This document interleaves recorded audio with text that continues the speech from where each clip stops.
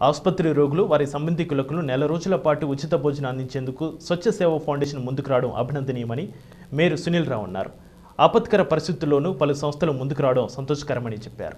ప్రభుత్వ ఆసుపత్రిలో వైద్య సేవలు పొందుతున్న రోగులు వారి బంధువులకు నగరపాలక సంస్థ ఆధ్వర్యంలో ఉచిత అన్నదానం చేపడుతున్నారు.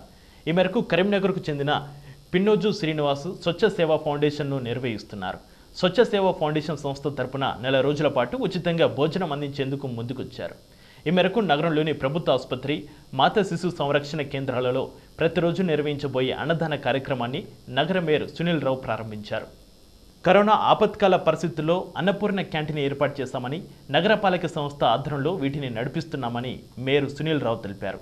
మంత్రి కేటీఆర్ ఆదేశాల మేరకు ప్లేటుకు ఇరవై ఐదు రూపాయల ఖర్చును భరిస్తూ మున్సిపల్ శాఖ ఆధ్వర్యంలో ఉచితంగా భోజనం అందిస్తున్నామని చెప్పారు. ఇందుకు గాను నెల రోజుల పాటు రోజు ఉచితంగా భోజనం అందించేందుకు స్వచ్ఛ సేవా ఫౌండేషన్ ముందుకు వచ్చిందన్నారు.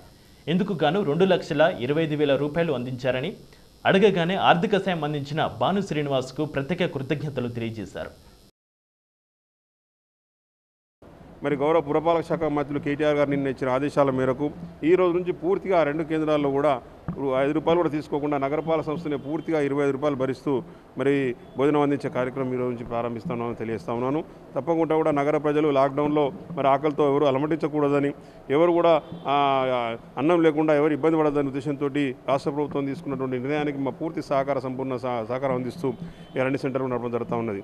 అలాగే సివిల్ హాస్పిటల్స్లో కూడా మరి ఇక్కడ చాలామంది పేషెంట్స్ వారి అటెండెన్స్ కూడా ఇబ్బంది అవుతా ఉన్నది. లాక్డౌన్ ఉన్నది హోటల్స్ లేవు అన్నం కోసం కానీ అటెండెన్స్ కానీ ఇబ్బందులు పెడతామని దృష్టి దృష్టిలో మరి వ్యాపారవేత్త మరి స్వచ్ఛంద సంస్థ నడుపుతున్నటువంటి పిన్నోజు భాను శ్రీనివాస్ గారిని అడిగిన వెంటనే వారు కూడా రోజు మూడు వందల మందికి ఇక్కడ మరి అన్నపూర్ణ భోజనం పెట్టడానికి ముందుకు వచ్చి దాదాపు రెండు లక్షల ఇరవై ఐదు రూపాయలు వారు డీడీ ద్వారా ఇవ్వడం జరిగింది. అది ఈరోజు ఇక్కడ ప్రారంభిస్తా ఉన్నాం. వారికి నా హృదయపూర్వకంగా కూడా నగరపాలక సంస్థ పక్షాన హృదయపూర్వకంగా కూడా ధన్యవాదాలు తెలియజేస్తా ఉన్నాను. నమస్కారం అండి. నా పేరు భాను శ్రీనివాస్. స్వచ్ఛ సేవ ఫౌండేషన్ ద్వారా పేద ప్రజలకు కరోనా వ్యాధి బారిన పడిన పేషెంట్స్కి మరియు వారి యొక్క అటెండెంట్స్కి ఫ్రీ ఫుడ్ సప్లై చేయాలనే సదుద్దేశంతో మా స్వచ్ఛ సేవ ఫౌండేషన్ ద్వారా అందరికీ ఫుడ్ సప్లై చేయాలి అనేది మా ఒక ఆలోచన.